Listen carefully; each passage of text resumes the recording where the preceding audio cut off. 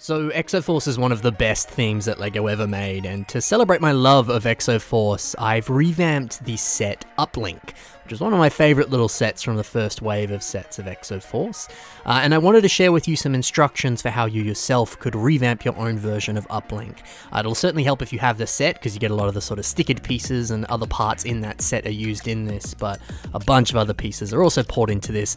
I'll have uh, images of all of those pieces so that you can see what you need to make this, but have fun building it. I'm sure you'll have a good time. And also, if you're interested as well, I do have uh, another MOC built of Sentry. So if there's interest, I can also make instructions for that. But yeah, let me know if you want to see that. Otherwise, I may not do it. But if there's interest, I totally will.